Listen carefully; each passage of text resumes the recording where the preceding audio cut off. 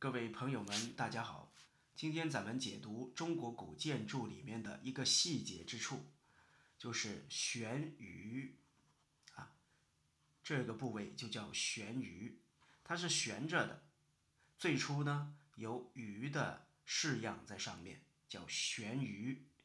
不过呢，后来这个悬鱼呢，不仅仅是鱼在上面而已，它可以有别的式样。悬鱼是挂在哪里呢？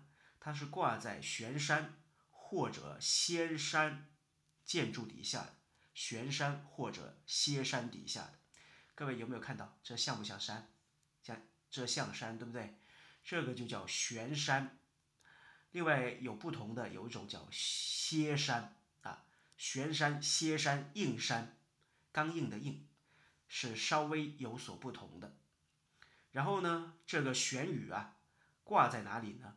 挂在悬山下面的薄风板下。那这个就是薄风板。好，大家注意哈，这个后面叫正脊，好像人的脊背的脊啊，正脊，这个叫垂脊。好，这就是悬羽，这样大家清楚了。那悬羽是从什么典故开始的呢？是这样的，就是在东汉呢，有一个人叫杨旭，这个人做南阳太守的时候呢，下属啊就给他送鱼，他收下来呢都挂在院子里。